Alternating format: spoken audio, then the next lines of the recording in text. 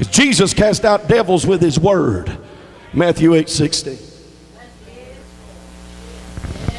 He had a demon possessed boy years ago in my house before the devils come out of him. Look at me and them demons. It sounded like multiples of multiples upon voice over voice over voice.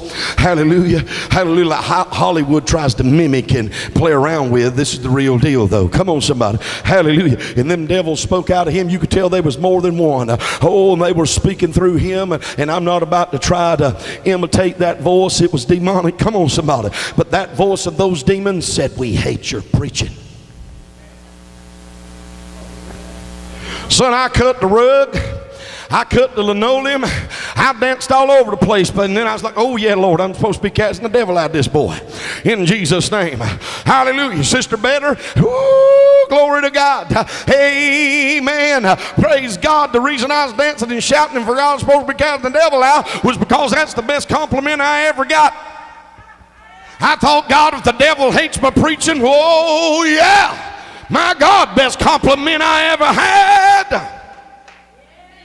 And some of you that watch just to try to find fault and don't like it, that same devil's in you. You weren't the first to say, I don't like your preaching.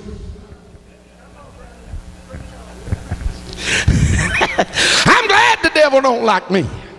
Hallelujah. Thank you, Jesus. We'll use both sounds. Thank you, Lord Jesus.